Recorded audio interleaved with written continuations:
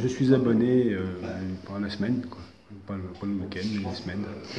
Ah bah des, des, des articles de- d'analyse qui sont, qui pour moi sont essentiels que on va trouver dans, un, dans un journal comme la Provence.